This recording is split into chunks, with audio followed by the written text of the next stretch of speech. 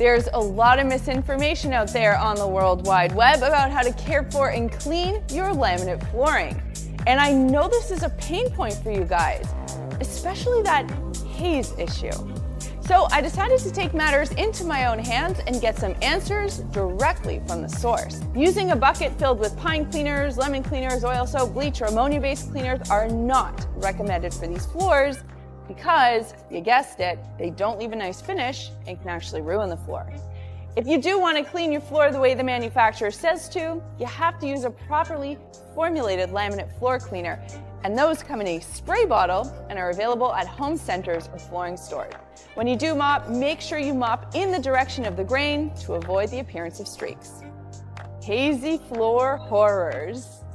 Let's talk about one of the worst issues facing laminate floor owners, the haze. It is the equivalent to a cleaning horror movie. You clean and clean, it just keeps reappearing, and is practically impossible to get rid of. So I corralled one of the top product people here at Armstrong to help me with this very mysterious issue. Marsha, hey, Hey, marketing manager for laminate products here at Armstrong. What is the cause of this haze? you said it, Melissa. It's the product. You must use a laminate approved product. Okay. Nothing else. Those soaps, the oils, the pine based, you're going to get the haze. That haze horror is just what's going to happen. Interesting, guys. And so, is there anything we can do about the haze? Not so much. Once you've got that haze, it's going to be really hard to get off. What we would recommend is that you use that laminate cleaner. Okay. That's a spray.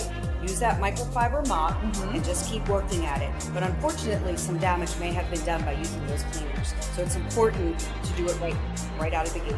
Okay, that is really good advice. Now, about those mops, anything you want to tell me about mops? Those mops, it's really important to clean them very frequently. Mm-hmm. But when you clean them, don't use fabric softener. Ah, They don't need to smell pretty. That fabric softener is just going to bring the haze back, even if you're using that laminate approved product. So skip the fabric softener. and we know that about microfiber cloths because we don't wash them with fabric softener because that fabric softener clogs the fibers and that totally screws up the whole microfiber situation.